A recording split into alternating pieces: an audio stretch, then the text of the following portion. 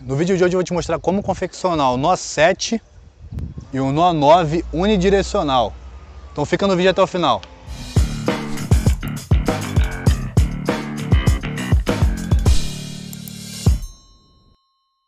Meu nome é Douglas Paraíso, sou bombeiro militar e hoje eu vou estar mostrando como confeccionar o nó 7 e o nó 9 unidirecional. Repara que os dois nós são muito parecidos, são muito fáceis de fazer, beleza? Então vem comigo. O nó 7 ou o nó 9, unidirecional, eu posso confeccionar ele para qualquer um dos lados.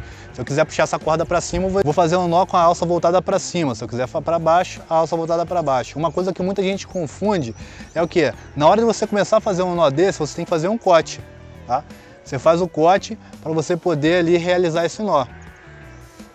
O que acontece? Às vezes a pessoa na hora de fazer o nó, ele não sabe se o cote ele tem que dar com a corda para cima, com a corda para baixo. Então um bizu que eu costumo usar é o que? Eu pego a corda na minha mão aqui e fiz uma alça. Olha o que eu faço.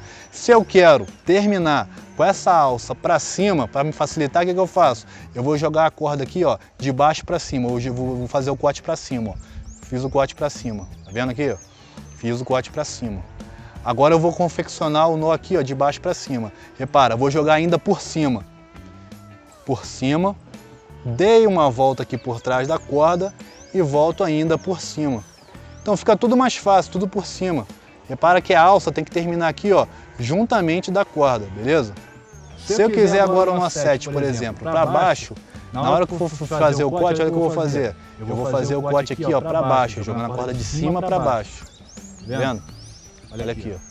Aí eu vou vir aqui, ó, por cima. E eu vou vir aqui por cima. Esse aqui é o nó 7. Lembrando que isso aqui é só um bizu que eu uso, tá? Você pode fazer da forma que você achar melhor. Até porque se eu fizer errado, olha só, vamos dizer que eu quero fazer o 7 com a alça terminando para cima. E eu fizer ao contrário, vou fazer a alça jogando para baixo, tá? Se eu fizer errado, por exemplo, eu joguei aqui por cima e tentei fazer aqui, olha o que vai fazer não vai sair nó nenhum, então você vai ver que está fazendo merda. Então, por exemplo, se eu quero fazer o nó, quero que a alça volte para cima e eu fizer o corte invertido, olha o que eu tenho que fazer. É só ao invés de começar por cima, eu começar aqui por trás.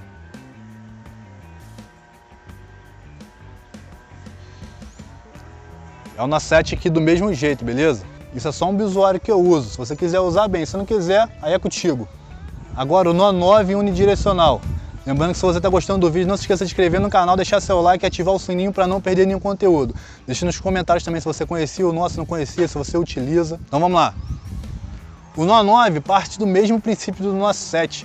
Olha o que eu vou fazer. Quero fazer ele com a alça para cima. Então eu vou jogar a corda aqui, vou fazer meu corte de baixo para cima, como mostrei.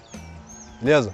Só que no 7, o que eu vou fazer? Eu vou jogar por cima, dar a volta e já vou entrar com a corda aqui, com a alça aqui. No 9, ao invés de entrar com a corda aqui, eu só vou dar uma volta a mais, ó. Vou passar por trás de novo. Agora sim eu entro, beleza? Vou ajustar o nó aqui para vocês vejam. E tá pronto aqui o meu nó, nó 9 unidirecional, tranquilo? Quais são as vantagens e desvantagens do nó 7 ou do nó 9?